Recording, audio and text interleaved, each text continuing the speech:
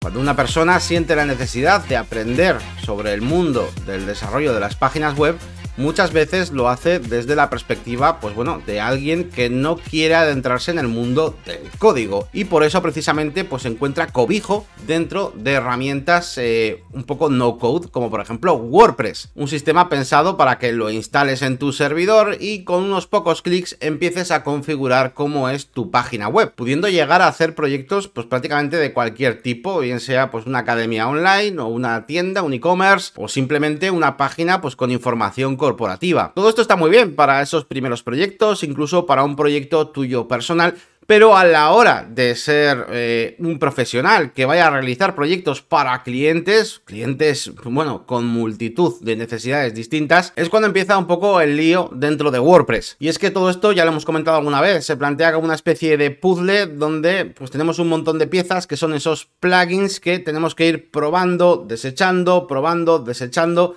hasta encontrar alguno que encaje con los requisitos que tenía el cliente inicialmente. Para el tema del diseño pasa parecido, en vez de los plugins tenemos los temas y los temas pues tienen una serie de ajustes, de configuraciones que nos permiten personalizar un poquito las cosas, pero cuando empezamos a realizar proyectos para clientes, cada uno va a tener unas necesidades específicas muy distintas y esos ajustes que nos permiten personalizar la apariencia de nuestro tema se van a quedar muy cortos en muchas ocasiones. En este punto, una persona tiene una pequeña encrucijada a la hora de seguir desarrollándose y seguir evolucionando su negocio. Y es que vamos a tener que dar cabida a aquellos clientes que nosotros elijamos. No hay nada de malo en coger y decir, mira, pues yo sé hacer esto, sé hacer una tienda online con estas características, con este tipo de personalizaciones y dedicarte a vender única y exclusivamente ese producto, ese y algún otro pues que tú sepas realizar.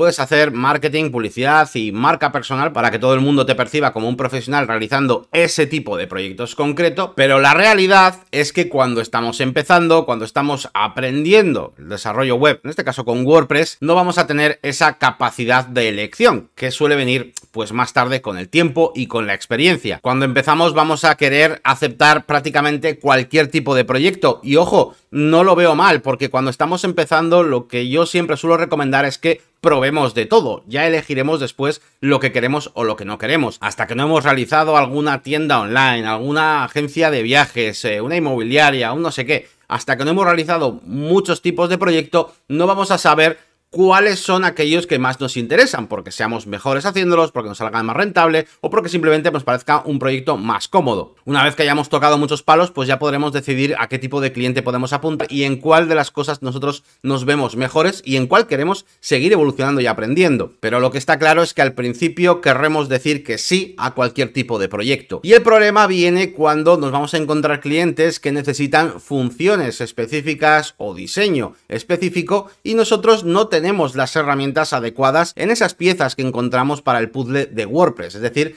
con los plugins y con los temas. Es aquí donde entran los conocimientos sobre el código. Y para superar esta barrera que nos haga adentrarnos en el mundo del código, no veo mejor forma que entender los problemas que el código puede solucionarnos. Y quiero que entendáis también, por cierto, que hay varias formas eh, a la hora de aprender código. Evidentemente una persona que esté abierta a este tipo de cosas y que va a hacerlo de forma organizada, pues puede aprender lenguajes de programación de forma estructurada, pero si eres una persona como yo, que viene del mundo del diseño gráfico, que yo me acuerdo que las primeras páginas web, pues eh, yo las diseñaba, por así decirlo, y eh, la persona que programaba, en este caso, que era mi compañero Elías, pues transformaba todo eso en algo funcional. Yo miraba así por encima de mi pantalla y veía ahí un montón de código, un montón de letras y decía, Buah, por saco, paso, paso totalmente de esta movida. Por eso digo que una forma, una alternativa, que es la que yo he seguido eh, a la hora de aprender código, pues es no tener que enfrentarte a todo de repente, sino a pequeños problemas, ¿no? Así lo hacemos en la máquina de branding.com, nos enfrentamos a pequeños problemas y poco a poco vamos aprendiendo pues cuestiones de código, que evidentemente pues viene muy bien también tener un curso, ¿no? Pues las cosas básicas como HTML, CSS, como tenemos, pero muchas veces la mejor forma de aprender algo es con un ejemplo concreto, un pequeño ejercicio y eso, realizar eso, eh, hace que se te quede, que se te quede grabado eh, para qué sirve algo, ¿no? Así que desde aquí, a todos aquellos que os dé puto asco el código como me lo daba a mí, pues os mando un mensaje de, oye, pues tranquilidad, que no hace falta eh, de repente ahora pasar de 0 a 100 y ponerte a estudiar libros y libros sobre lenguajes de programación. Solo tenéis que tener un poco de curiosidad, inquietud y resolver pequeños problemas poco a poco para que vayáis entendiendo eh, en qué va a solucionar esto vuestras vidas y sobre todo para que tengáis la necesidad de seguir aprendiendo, porque eso también es importante. ¿eh? Yo de primeras eh, no tenía la necesidad, no entendía por qué era necesario utilizar código y cuando ya fui solventando pequeños problemas con pequeños trozos de código, pues cada vez tenía más ganas de seguir aprendiendo.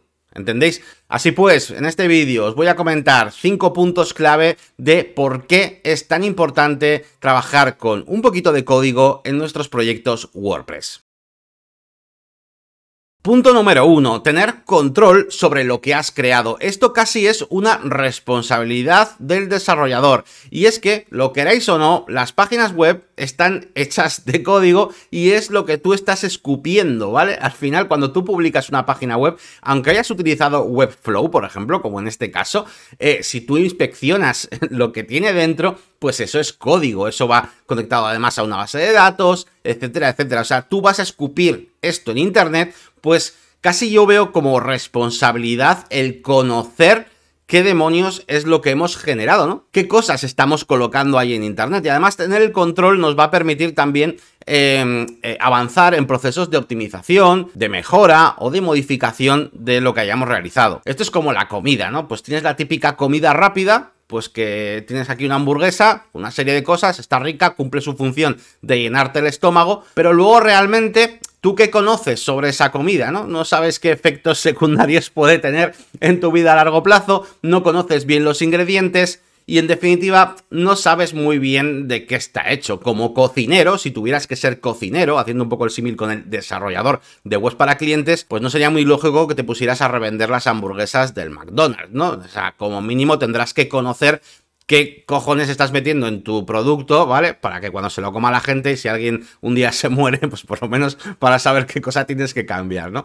Pues esto es un poco parecido. Nuestras webs, hagamos como las hagamos, aunque utilicemos un builder de forma visual, me da igual, cualquier herramienta, al final la realidad es que estás escupiendo código, ¿vale? Ya lo podéis ver fácilmente con el inspector, ahí tenéis el HTML y el CSS, por ejemplo, pero por supuesto, pues hay más código detrás. Así que este punto número uno para mí es muy importante. O sea, mm, para hacerte tu proyecto, pues vale, haz lo que quieras. Pero para trabajar con proyectos de clientes es tu responsabilidad saber qué mierda estás generando ahí en Internet, ¿vale? El segundo de los puntos interesantes que va a mejorar pues eh, tus desarrollos es la capacidad de modificar estilos de otros, ¿no? Hablando ya de la apariencia, ¿no? Pues por ejemplo, a la hora de trabajar con un tema en concreto o con un plugin, ¿no? Eh, que hayas utilizado para tu página web, por ejemplo, pues uno de tienda online o lo que sea, pues igual te apetece cambiar eh, algo para lo que el desarrollador pues no, no ha planeado, ¿no? Que haya un, un, ajuste que tú puedas cambiar. Entonces tú, gracias a tus conocimientos de código, pues puedes detectar dónde está eh, el punto dentro del código de otra persona, pues puedes detectar eh, cómo modificar eso. Por ejemplo, pues a través de, imagínate, simplemente con CSS, pues ya podrías, por ejemplo, si tuvieras conocimientos de CSS, pues ya podrías inspeccionar el elemento eh, que quieres cambiar. Luego podrías añadirle estilos, o bien desde el propio panel de WordPress de apariencia personalizar, o bien de la forma más correcta, que sería teniendo un tema hijo, ¿no? Pero ya tendrías cierto control de la parte del estilo, aunque eh, provenga todo de un tercero, ¿no? De un tema que te has comprado o de un plugin X, ya vas a poder modificar eh, estilos de cosas. Y eso es un puntazo, porque muchos clientes al final les encajas igual una función, un plugin que, les va bien para el proyecto, pero por lo que sea hay alguna cosa de la interfaz, del estilo, de lo que sea, que no, no les encaja. Y joder, por eso vas a tener que cambiar de plugin, no sé qué, andar buscando otro. No, joder, pues le cambias el estilo, ¿no? Que simplemente es un problema de apariencia. Así que esto, bueno, te va a beneficiar un montón para poder eh, continuar realizando proyectos a muchos más tipos de clientes, ¿vale? Así que esto súper importante. Y bueno, el punto 3 es lo mismo, pero ya no solo con el estilo, sino con las funciones, ¿no? O sea, a la hora de modificar ciertas cosas. Ya sabéis que muchas veces instalamos un plugin para realizar un proyecto de una página web y joder, no encaja del todo con lo que quiere el cliente. Encaja casi, pero le falta alguna cosilla y tal. Bueno, pues sabiendo un poquito de código, podemos aprovecharnos de lo que ya está escrito, ¿vale? Para hacer pequeñas modificaciones. Pues, por ejemplo, una tienda online. Yo no me voy a poner a programar desde cero WooCommerce, que ya funciona muy bien. Es un sistema que nos permite tener una tienda online que si con stock, con productos, no sé qué. Bueno, eso ya está hecho. Pero si por lo que sea el cliente pues necesita un pequeño apaño, una pequeña cosita que queremos cambiar, pues gracias a saber un poquito de código vamos a poder modificar ciertas funciones para no tener que hacer un desarrollo de código entero. Simplemente la modificación de funciones. En WordPress además ya sabéis que tenemos cosas como por ejemplo los filtros, ¿vale? Dentro del código de, WordPress tenemos cosas como los filtros que os permiten modificar, ¿no? Pues el valor que, que se devuelve en cierta función, etcétera, ¿no? Pues modificar un poquito el comportamiento sin tener que crear algo desde cero. Así que también, por supuesto, modificar funciones de otras personas, de otros plugins, pues es una cosa importantísima. Todo esto, hasta aquí, pues tampoco necesitas unos conocimientos de la hostia. Simplemente, pues ya os digo, con pequeños avances, pequeños tutoriales, un poquito de curiosidad también. Luego voy a hablar un poquito al final de este vídeo acerca de, cómo aprender, ¿no? Pero tampoco necesitas unos super mega conocimientos, ¿vale? Para hacer uso de, la mayoría de veces, funciones que ya están hechas dentro de WordPress y simplemente queremos modificar algo, ¿no? Eh, pero a partir de ahora también... Eh, va a ser un punto importante para nosotros, nos metemos en el mundillo del código, la posibilidad de crear cosas, ¿vale? Esa sería la, cuarta de las ventajas, crear funciones a medida, desde cero, directamente algo que no existe, pues porque el cliente, imagínate, pues tiene la necesidad de hacer, pues yo qué sé, pues un panel eh, para, eh, yo qué sé, el seguimiento de eh, entradas y salidas de los empleados en la empresa, no sé qué, o sea, algo que no existe. que puedes encontrar igual algún plugin parecido, pero no es exactamente igual, y al final vas a necesitar realizar funciones a medida.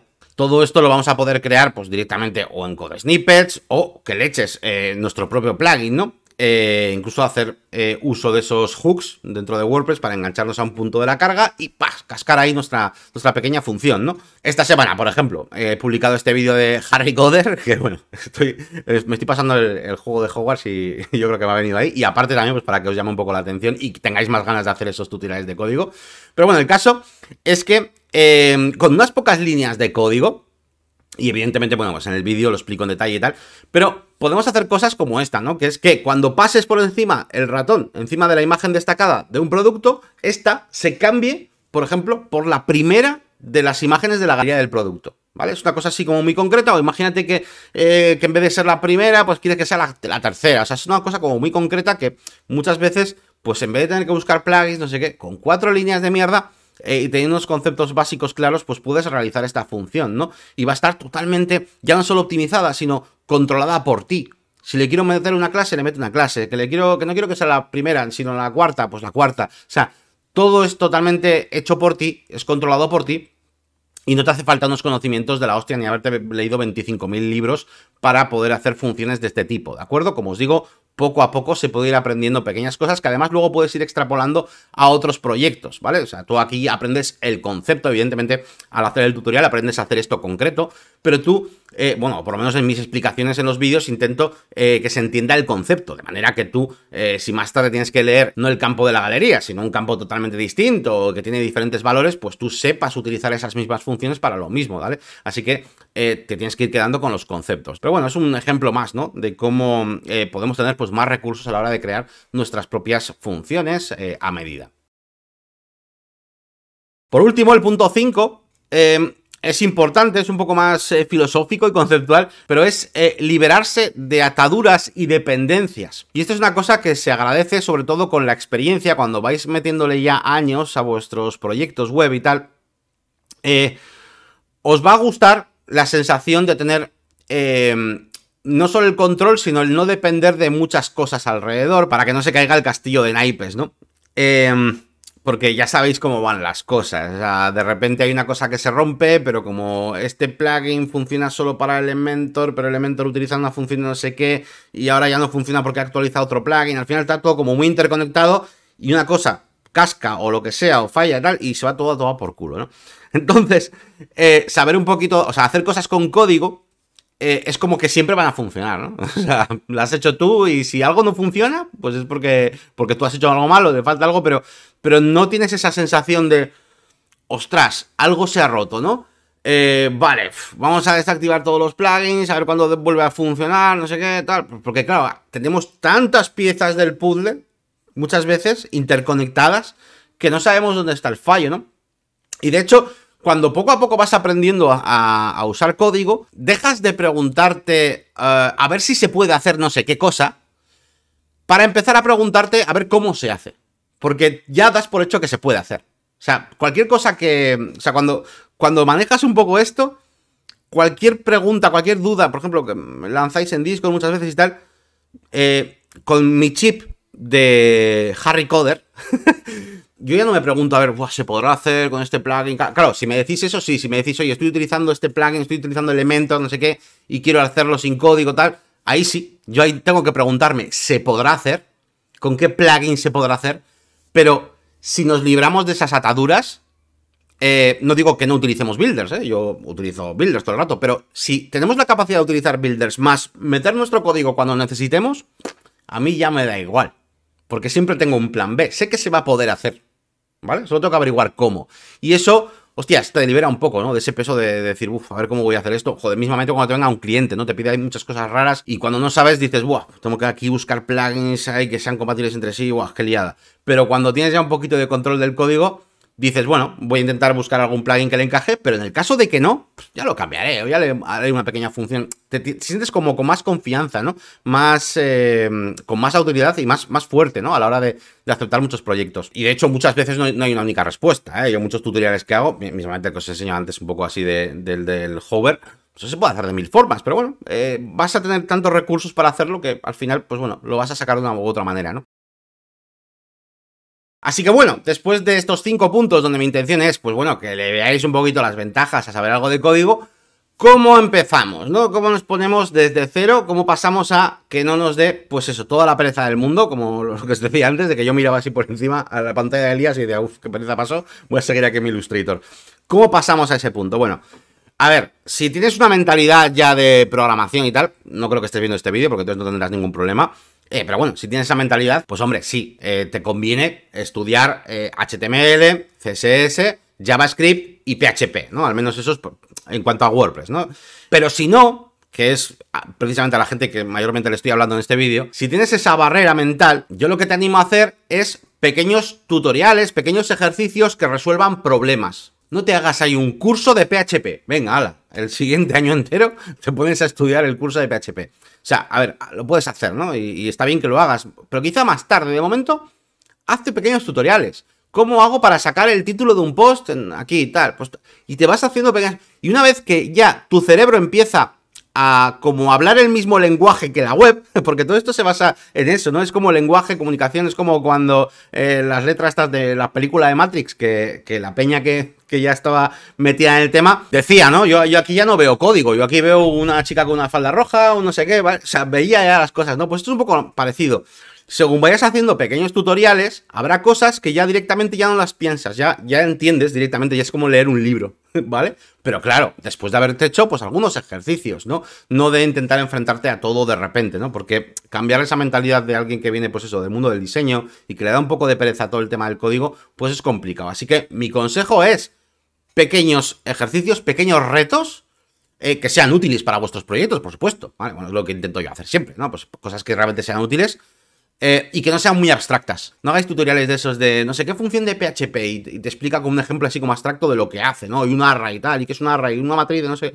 No, o sea, con ejemplos que se vea bien lo que haces, ¿no? Eh, por ejemplo, para aprender el tema de los array y tal, pues está genial pues utilizar unos campos personalizados que guardan información en un array y luego aprender pues cómo se saca cada uno y, y vas viendo pues cómo funciona la cosa, ¿no? Porque si lo aprendes de manera así un poco como teórica, en plan rollo libro, pues es un coñazo. Yo no os lo recomiendo, ¿vale? Pues yo, así no aprendería nunca nada. Y por último también, bueno, muy importante, ¿no? Irás teniendo poco a poco confianza, pero tener a mano pues la documentación, ¿no? Yo la uso en mogollón de vídeos. Em, vamos, o sea, a ver, yo hay muchas funciones que ya me las conozco, pero aún así, pues siempre tengo la documentación a mano. Quiero sacar eh, una información de un campo personalizado, tal. Bueno, pues aquí, aquí tenemos eh, get post meta. Vale, pues eso igual tienes que saber, ¿no? Que existe esa función. Pero el cómo se usa y tal, yo ya sé cómo se usa, pero imagínate que no me acuerdo. Bueno, pues voy a la documentación. A ver, ¿qué me pide getPostMeta? Ah, vale. El primero de los parámetros me pide el ID del post del que quiero sacar un, campo personalizado. Claro, como si no voy a sacarlo, ¿no? Si no sabe qué post es. Vale, entonces aquí tengo que poner el ID del post. Vale, luego que me pide. Ah, el nombre del campo personalizado, tal. O sea, y ya está, lo vas viendo, lo vas haciendo.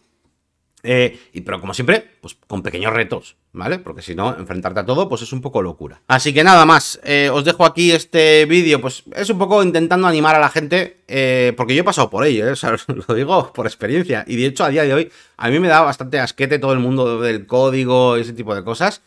pero como os he dicho en los cinco puntos estos de antes, pues es que se hace indispensable a la hora de querer captar más clientes y bueno, a día de hoy que yo me dedico más al tema de formación, pues evidentemente se me hace súper importante pues a la hora de poder dar solución para vosotros, para que vosotros podáis aplicar ciertas cosas a los proyectos de vuestros clientes, ¿no? Tenemos en la web la serie esta de código WP, que está bastante guay, yo creo que ahí vamos viendo cositas poco a poco, y luego aparte, bueno, pues cualquier tutorial, ¿eh? Que no hace falta que sea mío, que encontréis por ahí y tal, pues de cómo hacer algo con código, pues está bien que os pongáis esos pequeños retos y no quedaros en esa zona de confort eh, limitándonos a las herramientas que nos vienen dadas. Porque el día que esa herramienta pues le falte algo, pues la has cagado. Y de repente que vas a decir al cliente que no. Muchas veces por una chorrada, ¿eh? imagínate, ¿no? Eh, no, este proyecto ya no lo hago pues porque casualidad, mm, yo qué sé, este plugin pues eh, no muestra la fecha en formato de calendario. Imagínate, ¿no? Pues coño, pues que no sea por esa tontería que tengas que rechazar a un cliente, tío. Así que nada más, me callo ya. Espero haberos animado un poquito a todos aquellos que odiáis el código a intentar avanzar en este, en este camino. Y ya os digo que luego la recompensa va a ser, de verdad, ¿eh? vas, a, a sentir auténtica libertad. Se parece como, yo que vengo del diseño, como cuando empezamos con un lienzo en blanco que dices, joder, qué, qué, gusto estoy que puedo aquí empezar a pintar cosas, ¿no? Y, y no tengo que estar pensando en, en, restricciones, ¿no? vamos a pintar, vamos a llenar este lienzo en blanco. Pues se parece un poco a eso, ¿no? Tener control del código, dices, mira, es como puedo apoyarme en cosas que están hechas, pero tengo una especie de lienzo en blanco donde puedo crear cosas y puedo controlarlas. Y si por lo que sea algo falla, pues ya aprenderé cómo arreglarlo, porque es responsabilidad mía. No voy a tener que andar buscando a ver cuál de los 20 piezas del puzzle es la que está fastidiando una con otra. Eso os va a dar mucha tranquilidad y mucha seguridad en, en vosotros mismos. Muchísimas gracias como siempre, un saludito, hasta luego.